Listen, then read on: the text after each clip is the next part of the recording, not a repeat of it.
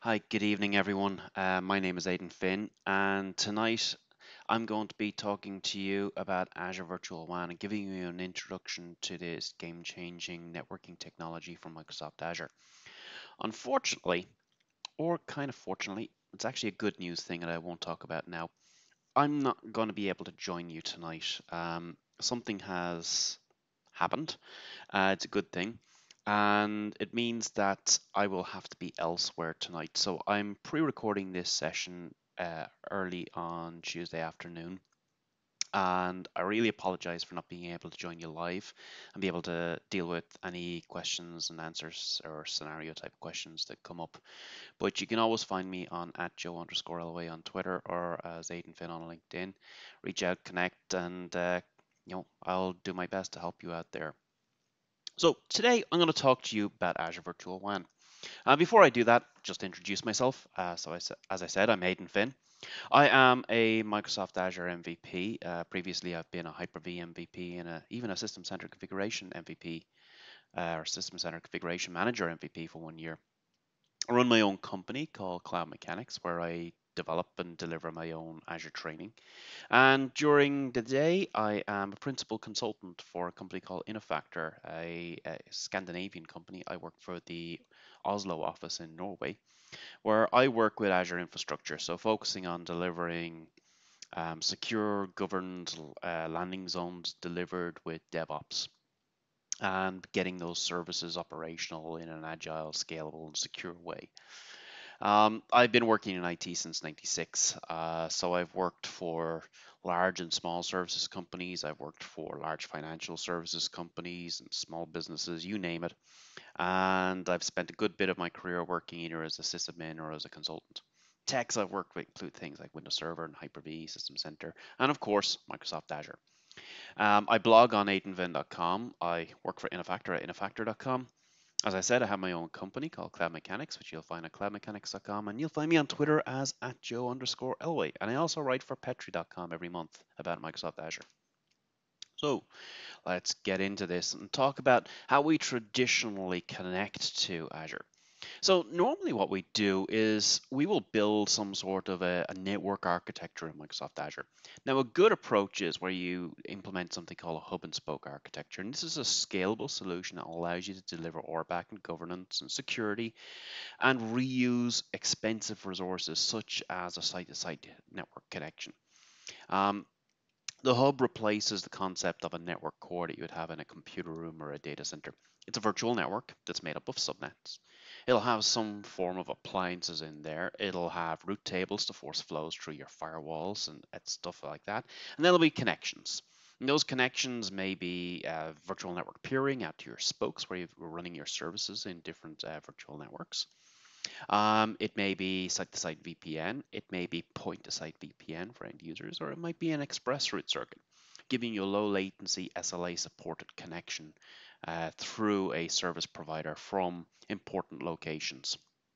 Um, or relaying as a backhaul from your branch offices through your uh, central locations.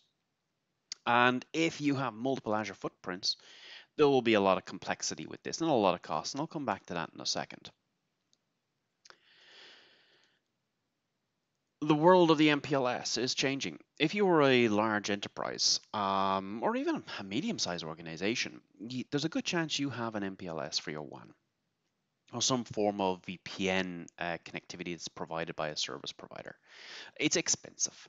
Um, and you may have uh, locations that really don't require that class of service.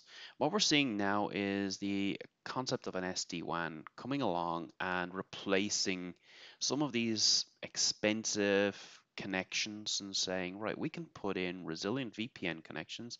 And although they are going across the internet may not have the same SLA that an MPLS will provide, because you've got resilient connections, we can give you something better than an SLA, which is uptime.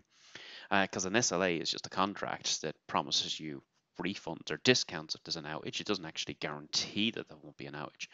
You also get your cost down and you can do things like class of service where you can send certain traffic across your low latency links and other types of traffic that don't require latency or low latency to go across your higher latency links like Wi-Fi or something. This is all made possible using intelligent appliances from third-party hardware vendors. So your typical network vendors that are out there, they will put an appliance into each location, they will aggregate your bandwidth together. As I said, they can do this class of service type thing. And importantly, they're really easy to deploy. So they'll do self-configured routing so that things will reach out to the rest of the network and figure out, okay, where am I? How do I get from A to B and then on to C? And they're really easy to deploy. Some of them are uh, designed to work in pop-up deployments. Now, I said that scaling can be difficult and I've just talked about SD-WAN and the concept of it being simple. Let's contrast that with some of the complexities that we can have when we start talking about Microsoft Azure connecting several or many locations to your Azure deployments. Let's imagine we have Azure resources deployed across many regions and we need private network connectivity to those different Azure regions from our offices. We also have users who are roaming around the world. So maybe we've got users in North America, users in Africa, users in Asia, users in Europe. We want them to be able to not just connect to the local Azure region, but we want them to be able to connect to any service via their VPN connection. And maybe we want them to be able to route not just to Azure, but also the branch offices. Well, typically what you're doing in that situation with those roaming users is you're trying to get them onto an on-prem network and then route through the on-prem network back up to the cloud which seems a bit of a, a loop if you think about it. And we don't necessarily have the most intelligent ways of doing it. So maybe a user who is from America has traveled to Southeast Asia and is VPNing back to America to get onto some service running in East US or West US. So they're going out making that long trip across the internet with their VPN tunnel, which is introducing a lot of latency, maybe 300 plus milliseconds. And the performance of their applications is going to suck. So we have all this complexity, and, that, and we haven't even talked about routing. So when we start popping in multiple Azure footprints and we start implementing firewalls in each of those footprints and trying to force flows through those firewalls, that routing becomes really, really complex. I know this stuff really well. Most people don't understand this stuff, don't understand the complexity with this stuff to make sure that traffic is actually going through the firewall, not accidentally going through the firewall. As I said, user connectivity can be a challenge, not just for that roaming user, but also for the branch offices. How do I make sure that someone who's in London is able to connect to my services running in UK South, but also in East US? And maybe that London office is able to talk to people who are in West US as well. Um, you have the challenge with pop-up locations. So imagine construction, retail, or even military, where a facility is popped up. They need to be able to get that online and connecting to the cloud really quickly. Your traditional express route or site-to-site VPN solutions aren't really going to work here. And then we've got the scale-out concept. So imagine a, a petrol station organization or a retail organization or a large enterprise that has many locations. A petrol station could have hundreds, if not thousands or tens of thousands of locations around the UK. Now imagine each of those locations trying to connect up to UK South. That's not going to work so well, is it? With your traditional site-to-site VPN or your ExpressRoute, because well, you're going to hit your four or eight ExpressRoute circuit connections straight away. Are you going to backhaul everyone back uh, through one or two locations across the MPLS network. Sounds expensive, sounds slow. And we have a max of 30 site-to-site VPN connections in a traditional deployment. So this thing is not going to scale. We need an alternative. And this is where that SD-WAN concept really comes into play. And that's where Microsoft Virtual WAN is aiming to, to meet your uh, needs. So Virtual WAN is where we can implement a new virtual network hub in Azure instead of the traditional approach. Instead of me deploying all these different resources, so a virtual network with its subnets and the network security groups and route tables and firewall appliances and all the stuff that may go with third-party firewall appliances to make them highly available, instead of doing all that mess, why don't I just tell Azure, you know what, I would like a hub, please, and I would like to be able to connect to that hub. You just take care of all the stuff for me, right? And I'm going to connect up uh, spoke virtual networks to you, and you just handle the routing for me. Will you just do that for me, please? That's what my customers typically want is as much platform as possible. Push the complexity down the stack. Let me focus on the service. Let me focus on things like governance and security. You just handle the plumbing for me. And that's what Virtual WAN aims to do. So it pushes all that complexity down into the stack. In fact, it doesn't even execute in your tenant.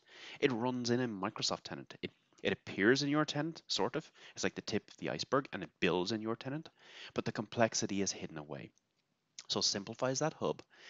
But also, it's an implementation. It's a virtual implementation of an appliance for an SD-WAN. So now we can make Azure a part of your SD-WAN so all those third-party appliances are going to connect to that hub. And now it's not just necessarily a part of your SD-WAN, but with some of the technologies that Microsoft have implemented and have uh, implemented with partners, that Azure Virtual WAN Hub can now be the center of your WAN. So it really makes Azure a strategic location on your network.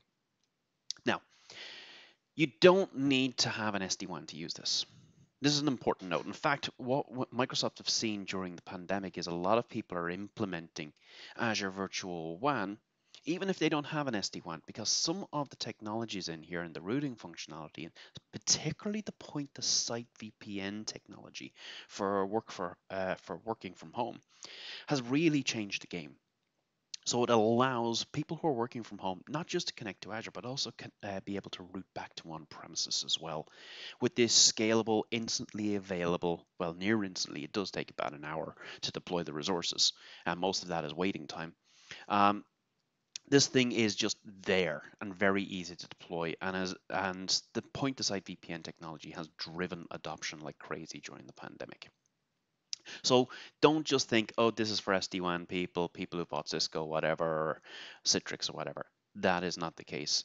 If you have a normal ExpressRoute circuit or a normal site-to-site VPN with one of the Microsoft supported uh, on-premises appliances, um, then you can do this as well.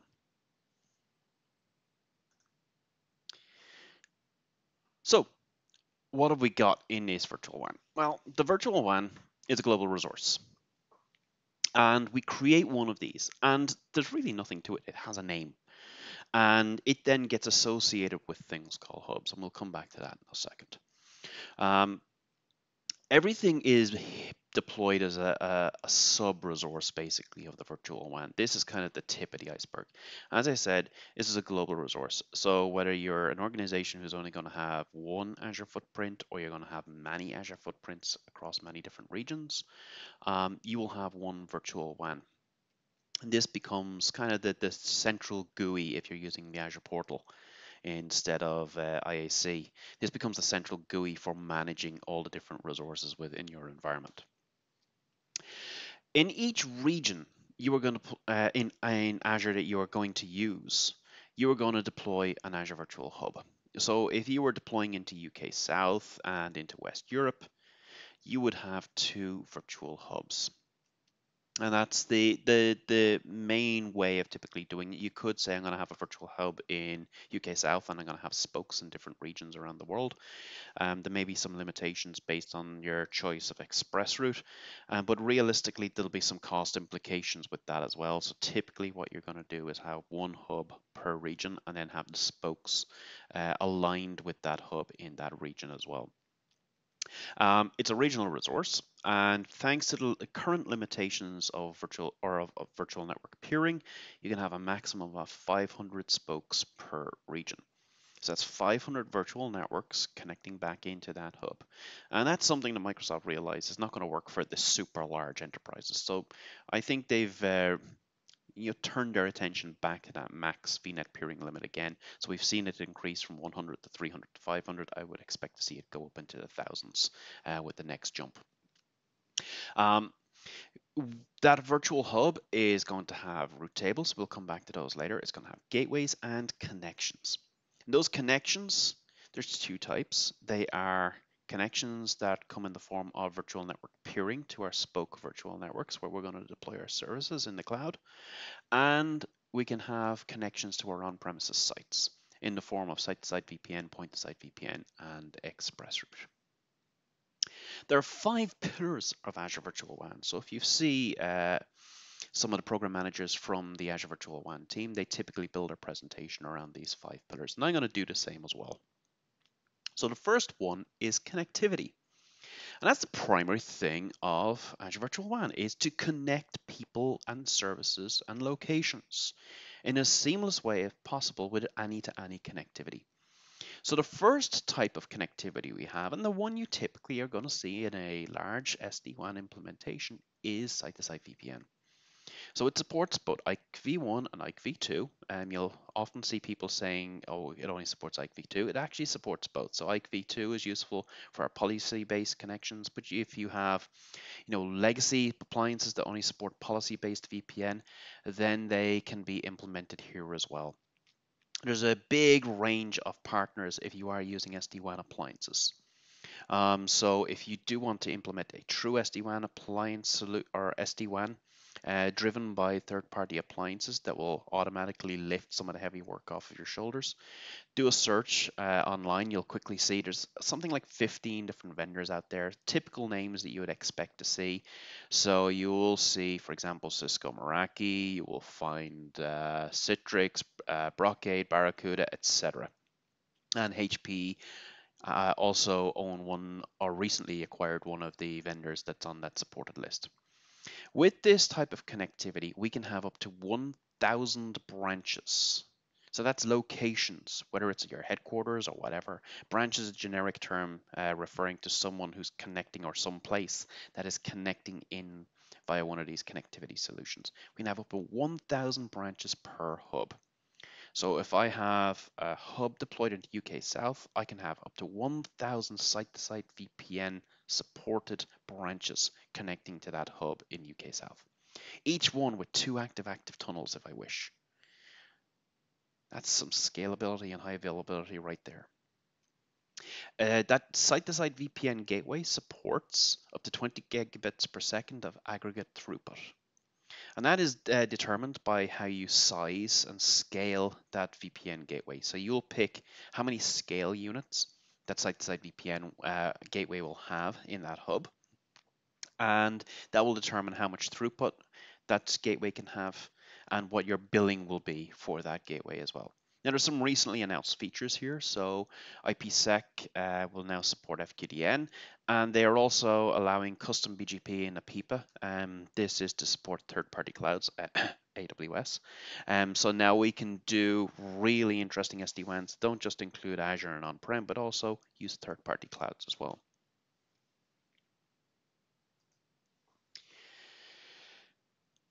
As I said, um, there's a partner-driven solution here. Um, so if you wish, you can deploy physical appliances on-prem, but a recent innovation that's being done is to uh, allow the hub to support virtual appliances. Um, so we can implement virtual appliances in third-party clouds, but we can also implement uh, virtual appliances in a new preview program for the uh, virtual hub inside the hub itself with these third-party appliances running on-prem, these physical appliances, is really supports that pop-up office or retail location uh, concept. So I can pop up a new office really quickly, like a construction site, put in my prefabs, etc. Send out an appliance with some wiring instructions. People just pop in the right wires in the right place, maybe color code the whole thing. And then as soon as they power up the thing, it reaches out, gets instructions, and that pop-up location is now on the SD-WAN and able to connect to the other locations in the SD-WAN, whether they are Azure or other physical locations, or even point-to-site users. Um, and this is automatically going to configure things like routing, encryption, which is the best uh, path to select for different types of connections or traffic, etc. And other third-party things that uh, may be implemented in there as well. One of the real cool things about this is it simplifies that configuration process. So you think about for those of you who have supported, whether you're a consultant or a sysadmin, a, a branch admin or a customer in setting up a site-to-site VPN and they get all sorts of little things wrong, uh, like timeouts or configurations or packet sizes or whatever it is, um, this really just nailed all that stuff and it's, it's an automated deployment. So think about if you're a, a traditional admin who's done lots of things. Um, think about um, how different it is to give someone an image to deploy uh, Windows on their PC versus giving someone a DVD and saying install Windows with your software on it. It's a big difference. And that's really what they're trying to do here with the, the branch office in the SD-WAN. Another form of connectivity we can have is ExpressRoute. The, the big perk of ExpressRoute or perks of, S, of ExpressRoute are um, low latency, the ability to have very high levels of bandwidth, plus it's also supported with an SLA. Um, so your circuit is implemented with dual cables, ideally over uh, redundant uh, routers and network edge appliances and guarantees you a low level of latency between your physical location and Microsoft Azure and other locations in the Microsoft clouds across the Microsoft WAN. Um, again, this is implemented with a gateway that's scaled out using scale units, and those scale units determine your billing and the total aggregate throughput up to 20 gigabits per second. And new, um, recently announced at Ignite, is that each region will now support up to eight circuits connecting into that hub's express route gateway. Now, historically, you may have heard that we needed the premium SKU of ExpressRoute to connect to Azure Virtual WAN. And that was a bit of a downer because the premium SKU is expensive. And the reason that was required was to support global reach. So we could have that any to any connectivity that I'll talk about in a few minutes um, between my location that has this circuit connected and other locations um, around the Microsoft uh, Azure Virtual WAN. Um, some Azure regions do not support global reach. So in order for these locations or Azure regions to be able to support Azure Virtual WAN, Microsoft has opened up things a little bit. So now we can deploy ExpressRoute standard into these regions. But the catch is we have to disable uh, the any-to-any -any connectivity for branch-to-branch -branch transit because that's a feature of the premium SKU of ExpressRoute. If you wish to use a lower end SKU, you can use ExpressRoute Local, but now we have to make sure that we have disabled that branch to branch transit as well. But we have also made sure that all the spokes connected to my hub are in the same region as the hub. Um, so you need to watch out for that. Uh, branch to branch transit is also disabled for VPN as well. So now let's talk about point-to-site VPN. This is the one that's really driven the adoption of uh, Azure Virtual WAN over the last six to nine months. Um, so it's IKE v2, it supports the Azure uh, VPN client and it supports Open VPN clients. It supports CERT-based authentication and radius-based authentication. One of the cool features we get with the Azure client is the profile management. Um, so we get traffic management, so we can say, you know what, I'm a roaming user and I'm normally in the US, but I'm going to travel over to Southeast Asia. I'm going to have the Azure V client with the global profile, which will allow me to connect to the closest Azure Virtual WAN hub. So now I get onto the Microsoft WAN at the closest point and I can route to whatever service I'm using. So if I am trying to get from somewhere in Malaysia and I VPN'd up to maybe a hub in Southeast Asia, and I'm trying to talk to some server that's running in my office in London, I will route across the Microsoft WAN, giving a low latency connection back to Europe and maybe to where I have a hub running in UK South, and then across my ExpressRoute and my VPN connection from UK South back to my office, uh, maybe in Newcastle or whatever it is. Um, this also now supports custom DNS as well. Uh, again, the gateway is a, it's a point-to-site VPN gateway that's part of the hub. It's another sub-resource within the hub. Um, it's based on scale units, um, so we size the gateway based on scale units. That determines the total aggregate throughput. Again, 20 gigabits per second maximum, and uh, the billing cost as well. And this supports up to 10,000 users per hub. So that's pretty good improvement over the old days of 128 max users for a VPN gateway in an Azure Virtual Network. Now, I mentioned earlier um, that partners are really at the heart of SD-WAN, and Microsoft are really implementing that. So today, if you're implementing a generally available Azure Virtual WAN hub, you're going to be using one of those Microsoft Virtual Network Gateways. You're going to be using an Azure Firewall if you wish to enable a firewall in that implementation in the hub, though you can enable third-party firewalls in a spoke and route via that spoke to get to different locations. But uh, the Azure Virtual WAN team are very partner centric and have been working very closely with network partners. So what they've been doing is in a private or in a public and private preview program, they've been uh, implementing third-party uh, SD-WAN appliances instead of Microsoft Virtual Network Gateways in the Azure Virtual WAN Hub. This basically means that, yeah, the, the virtual network gateway will probably do a lot of people, but some people want to have additional features that Microsoft don't implement, but are implemented in the physical on-prem appliances or might be used in virtual appliances in other clouds.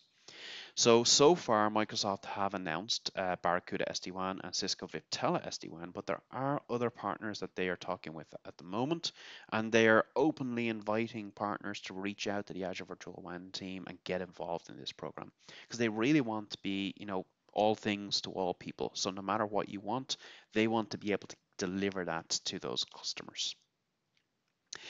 The primary thing that drove Azure Virtual WAN was to make it a global transit architecture. It's, it's what they said at uh, Ignite recently is why they started off this whole thing.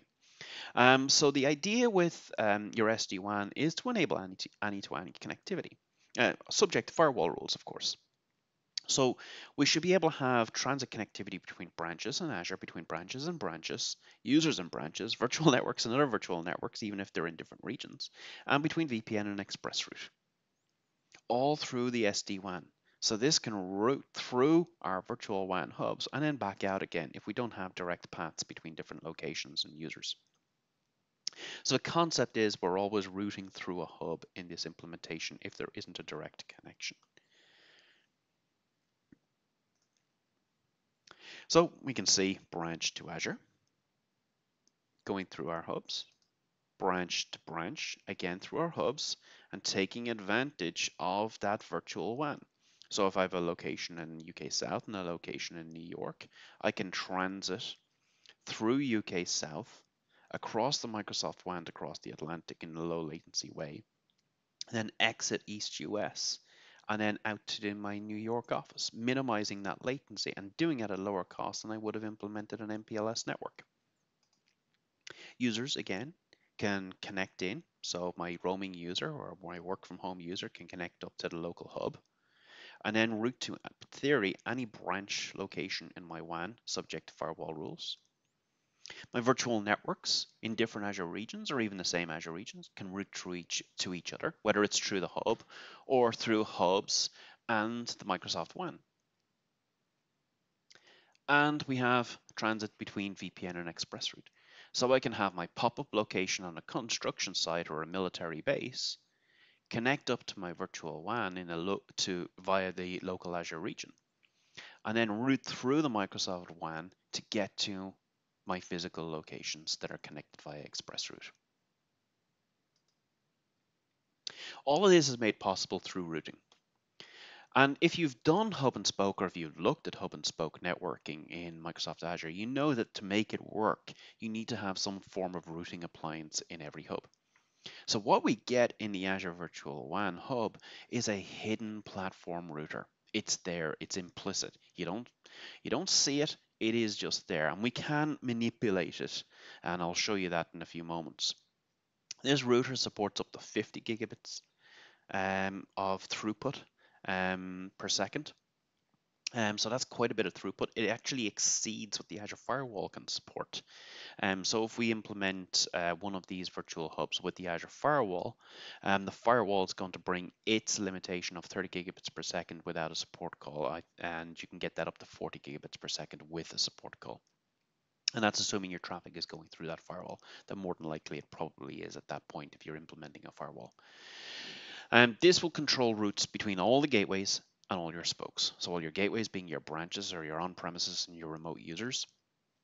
And uh, they are coming in through your gateways across your site-side VPN, your ExpressRoute, and your point-side VPN.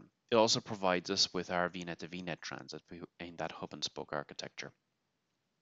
We can manipulate the routing uh, provided by the hub using route tables. Now, this is where things get a little different to your traditional hub and spoke architecture. If you've been implementing a hub and spoke architecture and you've implemented a firewall, even if you haven't implemented a hub and spoke architecture, if you've implemented a firewall to make sure the traffic is flowing through that firewall, inbound and outbound, you have had to implement route tables and do user defined routing and being able to optimize and manipulate and override your BGP and your system routes. In the Azure Virtual WAN, they took a lot of feedback early on in their engineering to understand the complexities with uh, user defined routing, uh, controlling BGP and um, system routing to make sure that flows through the firewall weren't accidental, they were deliberate. Um, and they have implemented a new form of routing where instead of doing routing at the edge, um, where we normally would do it on our gateway subnet and each of our spoke subnets, instead we're implementing the routing in the hub, which then gets pushed out to the rest of the network. And in the hub, in each region, you will have three types of route tables. Two of them are always there, the default route table and the None route table. We'll, we'll go through these. And we also have the ability to create what are called custom route tables. The default route table, it sits there and its job is basically to provide routing by default. And typically we will use this with branches. Now remember, branches include physical locations, so your headquarters, your hub offices, your branch offices, your retail locations, your pop-up offices, and your point-to-site users. So the people who are opening up a VPN client on their Mac, their PC, or whatever it is, and VPNing into the SD-WAN. They are all referred to as branches. And typically we will use the default route table to control the flows coming in and force that through a firewall appliance, whether it's an Azure firewall running in the hub, a third-party firewall that may eventually appear in the hub, or a third-party firewall that's running in a spoke virtual network. We also have the None route table. Now, this is a funny name. Um, Personally, I would have called it something else, uh, maybe the black hole um, route table. And the purpose of the None route table is to basically drop packets.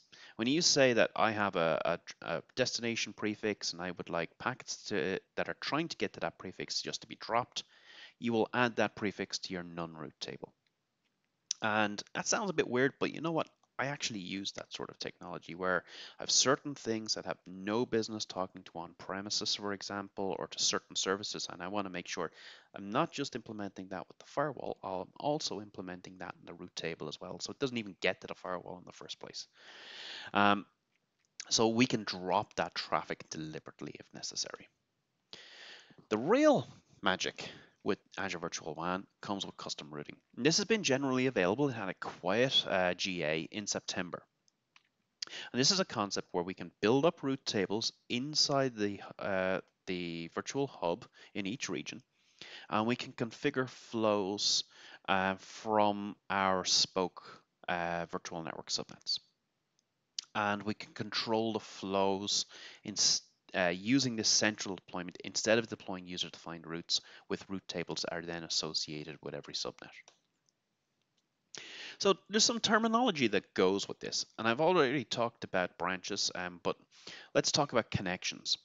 Connections are the things that connect our branches, so our point to site, site to site, and ExpressRoute, with the hub, but also connect our spoke virtual networks with the hub. So that branches includes our point-to-site VPN, site-to-site VPN ExpressRoute, and our VNet connections is basically the peering connection that's created between those spoke virtual networks and the hub. We then have an association. So when we associate a route table, we will associate it with that connection. And that means that the, the routes that are in uh, that route table will be propagated out to the virtual network associated with that association. A configuration for a route table includes propagation. And this is where we can say we want to propagate routes from our connected networks into the route table. So now we have a jumble of things going on here. We have our connections, so we have our virtual networks and our locations connecting to our hub. We can associate a route table with one of those connections, which basically says, hey, anything in my route table, I'm going to send out to you via your connection. And then we can configure propagation to say, hey, I want you, virtual network, I want you to propagate your network address spaces into this route table. So anyone who's associate, associated with this route, route table will get your routes. But the real magic will come in form of static routes. If you're implementing firewalls, this is the one you're going to be interested in. Static routes is where we will say, you know what, if you're trying to get to somewhere from somewhere, you're going to go via this firewall, whether it's the firewall running in my virtual hub or it's a firewall running in a spoke, so a third party appliance. So let's have a quick look as a bit of a hokey scenario, but it's a scenario that gives you an idea what's going on. So here we have a hub that's been implemented and it's what we refer to as a secure virtual hub. So that means it has an Azure firewall implemented inside of that hub. We have some branches. Um, we've got a couple of offices, but this could also include uh, point-to-site VPN as well. And we've got some spokes in our Azure footprint. So this particular region, we've got uh, three different spoke virtual networks that are peered to that hub. So they have connections to that hub. What we want here is all traffic coming in from our branches, so our physical locations, pop-up locations, whatever they are, and our point-to-site VPN users, any connections coming in through the gateways in that virtual hub, we want to force those through the firewall if they want to get to any of our spokes. Any traffic that's trying to get from the spokes to the rest of the world, so basically the branches or the internet, will have to go through our firewall and we're going to allow traffic from the spokes to get to each other um, without having to go through the firewall. Um, so we're actually going to have to implement some extra steps to make that one possible. So first thing we're going to do is look at the branches. What we'll do is we will create a default route table. Um, actually, apologize, apologies there. We're going to use the default route table that exists in the hub. And in there, we're going to create a static path that says, hey, if you want to get to the aggregate, aggregated network address space of our spokes, you have to go through the Azure Firewall. So if you were to look at the, the ARM template for this, you would actually see a reference to the resource ID of the Azure Firewall that's running inside of that virtual hub. Then in the configuration for that route table, we're going to say it's going to be associated with our branches. So that's a simple configuration. It's just going to be the default route table. It's going to be associated with our branches. And we are going to propagate that to our branches as well. So simple enough configuration. Now we have a look at what we're doing with the spokes. Again, we're going to we're going to create a custom route table here. I'm going to call this vnet dash root table. And in here, we are going to create a static route saying if you want to go to quad zero, so 0.0.0.0 slash zero, you're going to go through the resource ID of the Azure firewall. So if you want to get to the branches, if you want to get to the internet, you're going to go through that firewall, whether you like it or not. Then we're going to associate that route table with our connections for those virtual networks. So that now means the routes that are in that route table are going to propagate out to those virtual networks. And then we're going to configure propagation. We're going to say, hey, virtual networks, we want you to propagate your routes into that route table. So this is the real magic now where we're bypassing the firewall to do spoke-to-spoke -spoke traffic.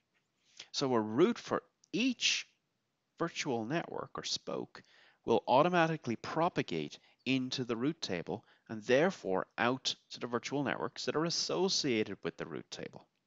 So now spoke 2-vnet knows about spoke 1 and spoke 3 and knows all it has to do is go via the hub to get there. And we put the whole thing together and we've met our requirements. Branches need to go through the firewall to get to the spokes. Spokes need to go through the firewall to get to the internet and to the branches. And spokes can route through the hub without going through the firewall to get to each other.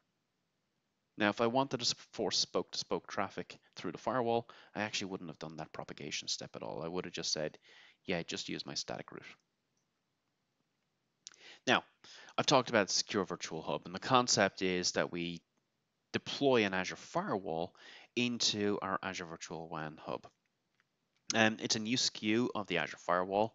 Uh, it's the same price as the Azure Firewall, and it's using the same virtual hub. Um, so the pricing regarding your virtual hubs will be the same as well firewall. If you've used azure firewall before management will be a little different. You will have to use azure firewall manager which means you're implementing your firewall configurations and your rules using the policy. Though you may have noticed um, some new features recently over the summer that only appeared in azure firewall policy and didn't uh, appear in the azure firewall itself. I think if we look back to what happened with the Azure Application Gateway and its web application firewall configuration, we can see the writings on the wall there. Um, Azure Firewall Policy is the place uh, to start putting your time and effort if you are using Azure Firewall. Um, this will require that you do some routing configuration. So it's back to that custom routing stuff that I talked about. But you might know some interesting stuff in there. Um, there's some third-party implementations we can do. So we get third-party support from the likes of Zscaler, iBoss, CloudGuard, um, where we can start saying, you know what, we want to browse the internet and force our traffic from our branches and point to site through the virtual hub in our SD-WAN, and then go out through these third-party solutions that are implemented through the Azure Firewall policy. Um, so we can start doing web filtering, anti-malware scanning, all that good stuff that these third parties can add. So this is again the Azure Virtual WAN team going, you know what, we can't do everything. And you know what, sometimes our partners do things better than we do or offer more features or even do things that we just don't do at all. So let's leverage them and work with them to give partners and customers a better offering than they would get without the, these partners. Um, if you are implementing a multi-region SD-WAN implementation and you are trying to uh, route traffic from one spoke in one region to another spoke in another region, and you've got a hub in each of those regions, like you see in this picture, you should be aware that your custom routing is going to force traffic through one firewall. It's not going to go through both firewalls, and that's a limitation today. It's something that the virtual WAN team have heard feedback on. They want um, some customers are saying that they want uh, both of these firewalls to actually be in control of the flows. Um, I see that point absolutely, but the way I view Azure Firewall policy is I would implement um, Azure Firewall policy in a parent-child architecture, where the parent one actually controls my inter-region uh, communications. And then the local stuff is controlled using a child policy only. But it really comes down to how your organization manages your firewalls and how it does your policies and stuff like that. Um, and some organizations really do want to see these flows going through two different firewalls. Uh, so one through the source firewall and then back uh, to the destination through the destination firewall. And as I said, there are third-party offerings as well. Um, so we can filter traffic uh, through third-party SaaS offerings. So if you want to do VNet to Internet, branch to Internet uh, security stuff, you can do that um, using these third-party offerings. And bear in mind that traffic for Microsoft 365 is intended to go straight to Microsoft 365. So from your branches, whether they're locations or users, that traffic should be going straight to M365, not through these third-party solutions. And finally, we get to monitoring. Um, it's great having this stuff and setting this stuff up, but realistically, you need to be able to manage this. So you are going to have your usual diagnostic settings. They're there for things like your firewall, your gateways, etc. Um, new preview feature is Virtual WAN Insights, which gives you a graphical view of what's going on, so you can uh, quickly see the architecture of your environment, the dependencies of your environment, but also start looking at some of the performance metrics as you browse around uh, the visual hierarchy. Um, but I wouldn't just take for granted this stuff is working. You shouldn't ever do that with any service or any system. You should always configure your diagnostic settings in Azure. Send your data to Azure Monitor Logs or Log Analytics, if we use the technical term, not the marketing term.